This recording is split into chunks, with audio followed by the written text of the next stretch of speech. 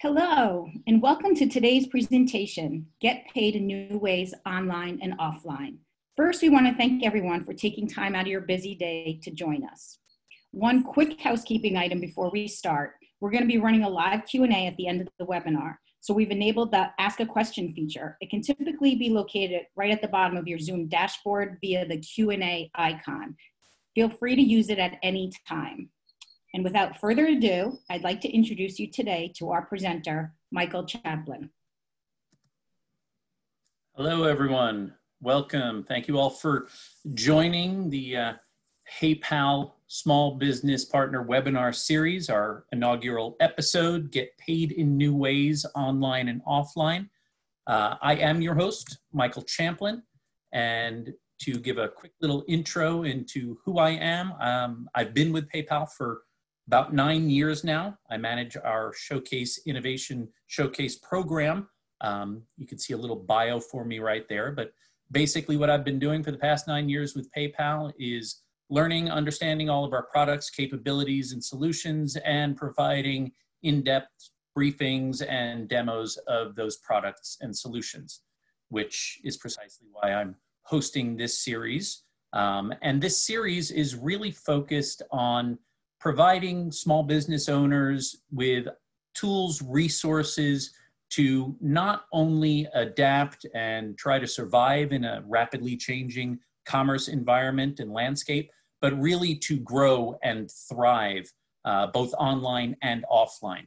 So today, what we're going to be covering, we'll do a quick little look at the state of the industry, um, but some of the tools that PayPal is providing, we're going to go through today, including, as you can see on your screen right there, PayPal buttons, um, getting that enabled, up and running, and accepting payments on your website, um, how you can sell also on social media and take advantage of the opportunities where consumers are already shopping, where their eyes already are, um, reaching out to consumers through invoicing and our QR code solution, which is now available and able to accept payments offline as well as businesses are looking more and more for contactless solutions for selling. So getting started and looking at uh, the state of our industry today, you can see that buying behavior has certainly changed. And I'm sure everybody on this call is well aware of that. Over 20% of surveyed respondents said their frequency of purchasing goods online has increased. And that 20%, let's be real about this, it's, it's not just due to COVID, it's not just due to the events of, of this year, but that's a trend that we've been seeing growing rapidly over the past few years, which is where PayPal can come in and assist small businesses we have the solutions, we have the tools, and we've had those tools building and evolving for the past 20 years to help you sell securely online. And now we're going to look at some of the things that we can help you to expand your reach as well. Jumping straight into it now, I'm going to click over. I'm thanking you for my intro apparently right there. And as I click straight over, we're going to look at what some of those resources are and how you can manage your business site uh, through your PayPal business account. We're going to be logging into our business account right here. Uh, if you don't have a business account already with PayPal, it's simple and easy. It takes a few minutes most, top level business information and connecting a bank account. And within minutes, you can get set up with your own account that would look very similar to our dashboard loading on the screen right now. This is for our Make It Fit business. Uh, this might be a, a personal fitness trainer. We have Samantha who started her business with PayPal. And as you can see on her dashboard here, she has the simple and, and easy access to all of the tools and resources for um, high level management of her business, clearly managing uh, her balance, money goes in, money comes out. We're going to get to invoices in a little bit how she might be able to send money, obviously, requesting, and then, of course, tracking all of her activity. Jumping straight into what those tools that are available through PayPal right now to get you up and running and selling on your website, we're going to look into our App Center, which you can see right here. You're going to have all of uh, the access in your business across the top toolbar here And one of the features that we brought in recently through our commerce platform is the quick link, uh, box that you see right here at the top. So the aspects of your business that you access most frequently, you can have a quick link and jump straight over to that from your homepage. And we're going to take a quick look at the App Center that provides that hub for all of those resources through our commerce platform. Obviously, you're going to see some of the uh, more frequent accepting payments, making payments, how to accelerate growth, streamlining your operations. Um, and again, you could take any of these squares, any of these boxes through the App Center and put them as a quick link on the homepage of your business account. But let's go straight into accepting payments. Um, that's why we're here. That's why PayPal exists. So how can we help you accept payments on your website? How quick and easy can we do this? Well, we've got the button here where we can go directly into checkout. We're gonna look at invoicing a little bit later. But if we wanna click a little further over and see a few more of those tools that are available for the small business owners, you could see obviously how you can sell directly on your website with checkout or subscriptions. Um, you can take those payments at point of sale, and we have the solutions for that. Look through the virtual terminal. We'll get to selling on social in a little bit. For right now, though, want to see how to accept those first payments on your website? Let's jump straight in and look out look at setting up that checkout experience.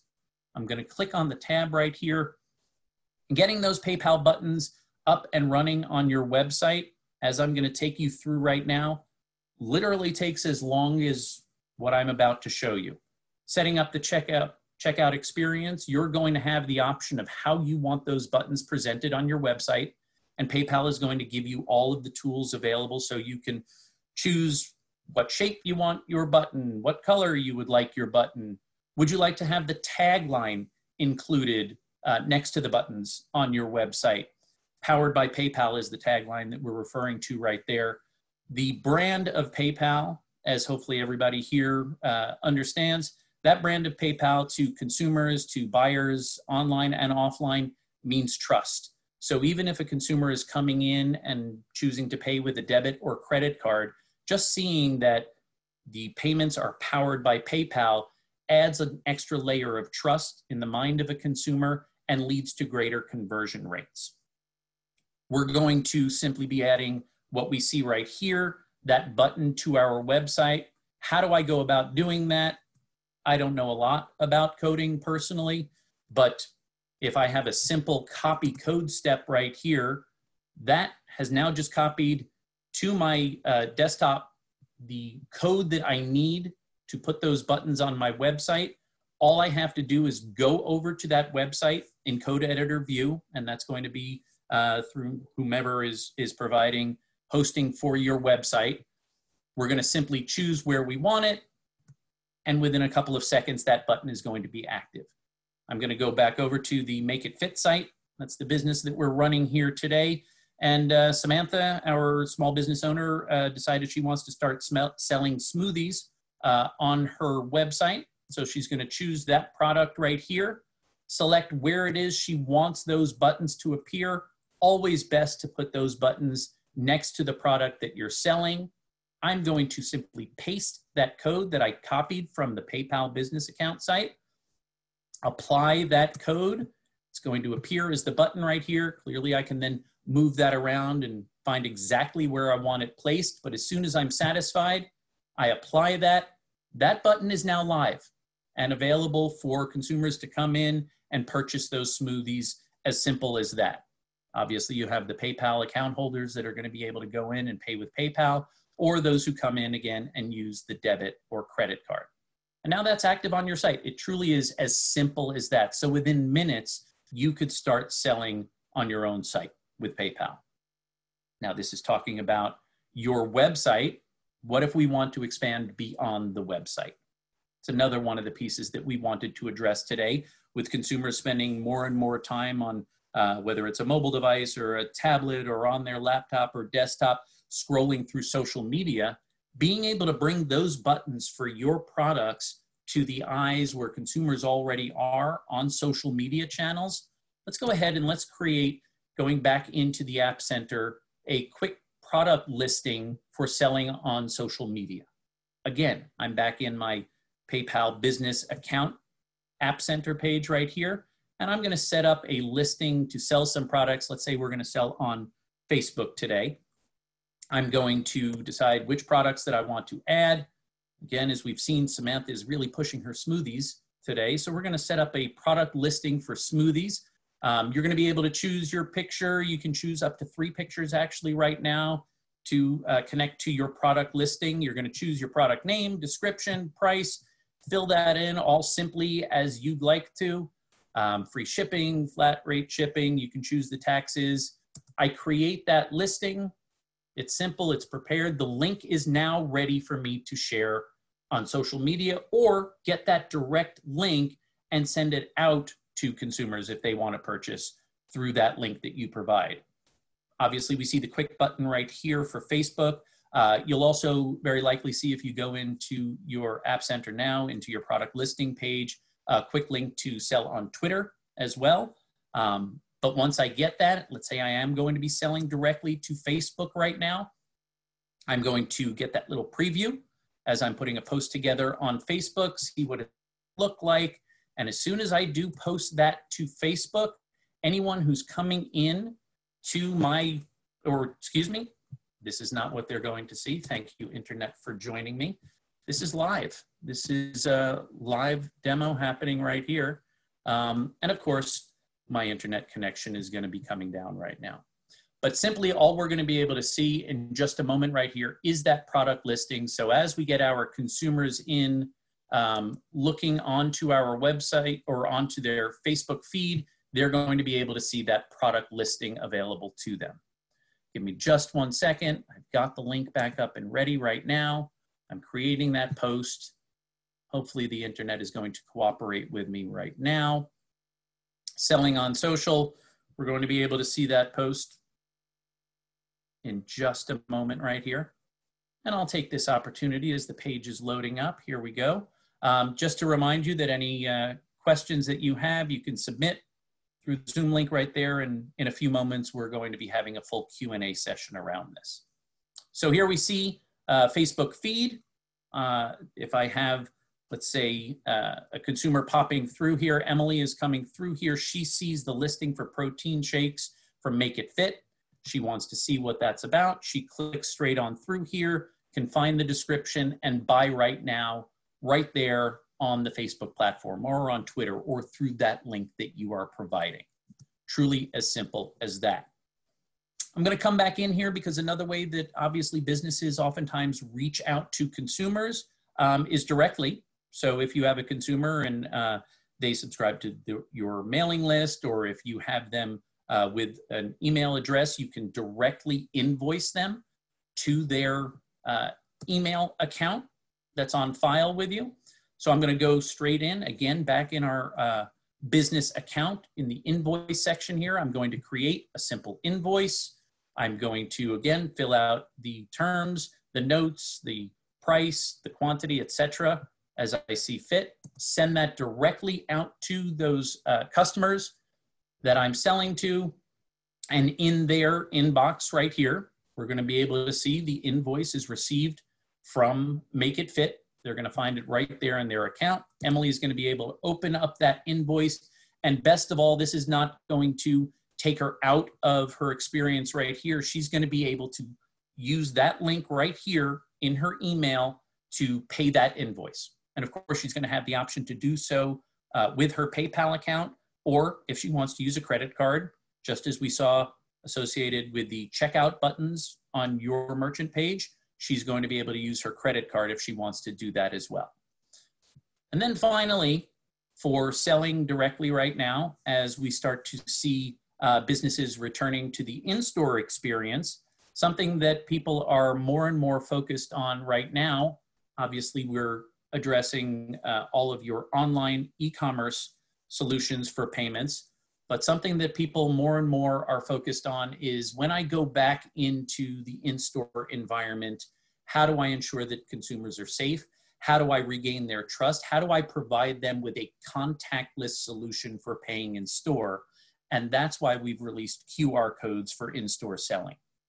And as you can see right here, with that QR code, if you use that in store today, if you have it associated um, either at, at, connected either at point of sale um, or maybe print out a QR code and put it up on your window. If you're selling in store with QR codes through the end of July, there are going to be uh, no seller fees whatsoever. You're going to get 100% of that transaction. To enable that QR code, again, you simply go into your PayPal account, your business account, and you generate your own QR code. Each QR code is unique. So once you generate yours, that's going to be the QR code that's assigned to your business.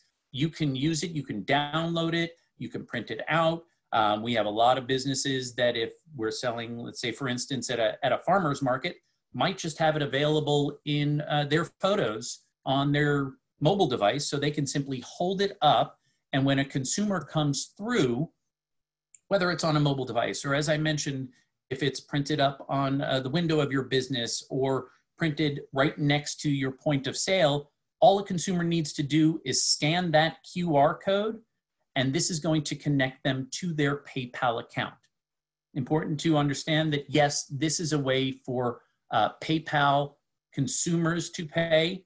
This is going to bring you into your PayPal experience, uh, open up the app, and prompt you to pay the business whose QR code you just scanned. As the consumer, you're going to type in the amount that you're paying, just like taking that money out of your wallet, because in fact, what you are doing is taking that money from one of the connected funding sources inside of your PayPal digital wallet. So here, uh, as a consumer, I'm going to be using my uh, default payment mechanism, which is my bank account. I can follow that arrow right here and change based on whatever funding instruments as a consumer I have stored in my PayPal account. This is exactly how I want to pay that $20 to make it fit today for the two smoothie packs. I'm going to pay that. And as simply as that, I have now paid the merchant. It happens instantly. And just like with any other PayPal transaction, a consumer paying you as a business, you're getting that payment immediately. So we've gone through today, uh, simple setup with buttons on, on your website, being able to extend selling from your website into social media or using that link to sell wherever you want to reach out to your consumers, invoicing directly uh, to consumers, uh, and with our new QR code solution, being able to now extend those safe, secure, contactless payment experiences to your in-store environment as well. So that's going to uh, wrap up just the quick portion, uh, demo portion of our webinar for today. Obviously, um, you can go and get started right there at paypal.com, but we're gonna take about the next uh, uh almost 10 minutes uh, to answer a few questions. I see that there are a number of questions coming into our chat. So, and with participants raising hands, I am going to do my best to answer any and all questions that uh, we have time for today. So, Catherine, do we have any that yes, I was just about to jump in. So we have a few questions. I'll start with the questions around QR codes since you just covered QR codes. Um, are QR codes only for in-person purchases? Uh, in fact, right now, uh, they were designed specifically for in-person. Um, there are instances where you could use it online. Um, it, it's it's uh, it's something that if you were to take a picture, but it, it, wouldn't necessarily be the most efficient way to do it.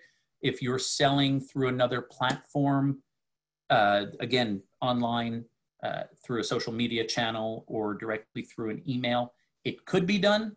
But again, the consumer would have to have a PayPal account. This is really designed much, much more so for the in-store experience. Um, you might see in the next, uh, you know, in the coming months, some further solutions around QR code that might extend more so into the online environment.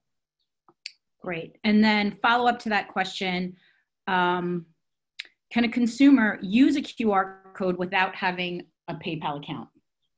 So um, the QR codes are designed for PayPal and Venmo users. So that QR code will open up the payment experience for PayPal or Venmo. This will not be able to redirect to a direct credit card. However, so this is a PayPal or a Venmo account holder that would be able to use those QR codes specifically. Okay. Um, moving on to selling on social. So when I sell on social, who will see my post? Uh, anybody who's coming through uh, and is either following you or discovering you for the first time, they might look through your business site on uh, any social media channel that you have. They'll be able to see that posting either through their own feed if they're following you or if they go to your merchant page on Facebook, Twitter, whatever it may be. Okay. Um, similar questions about consumers having PayPal accounts. So does a consumer need to have a PayPal account to use it on my website? They would need it to pay with PayPal.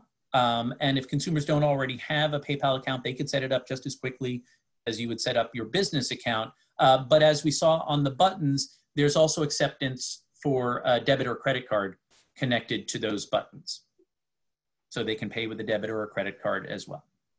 Okay and how quickly will I get paid when a shopper uses PayPal?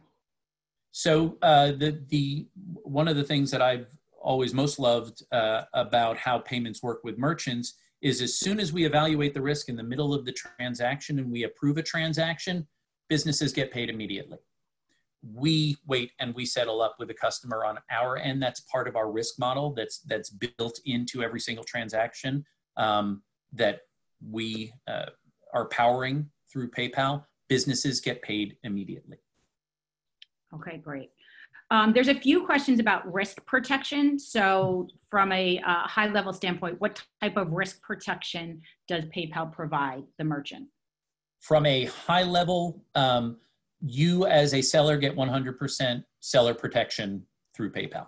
If you're a PayPal business and you accept PayPal, we provide 100% seller protection um, against any uh, fraudulent uh, transactions going through. Okay. Um, those are the questions that I have on my side. All right. Um, I uh, think that we're getting close to time. We have probably about two minutes. So if there are any more questions that are going to be coming in, I see that some participants have raised hands. I see about close to 40 um, questions and there we just hit 40 in on the Q&A section. So I'm wondering, Catherine, if you're able to see those and find a relevant question. Okay. Um, I, I'm going to uh, just see super quickly if I'm able to find any Q&A. Um, we have a lot here. Um, if you have a personal account, um, you will have to set up a separate business account that will be connected to your business. I see that uh, Debbie asked the question if she has a personal account, can she convert that to a business account? Uh, you would actually have to set up a new business account. Um, and it's, it's, it's very simple to do that. Um, but you would have two separate accounts. Um, see, somebody used buttons on their website in the past and it worked great. Well, thank you for that. We're certainly hoping that. Um, and unless there's something filtered through, Catherine, um, can I allow customers to add several items to a cart before submitting the cart items to PayPal or a single payment? Absolutely. Absolutely. When you're selling on your website, you can build um, a full checkout cart experience build that cart. And truthfully, that's one of the beauties of PayPal when that trust is there. Um, oftentimes, you're going to see, most oftentimes, you're going to see increased um, AOV um, as well as number of items added to a cart.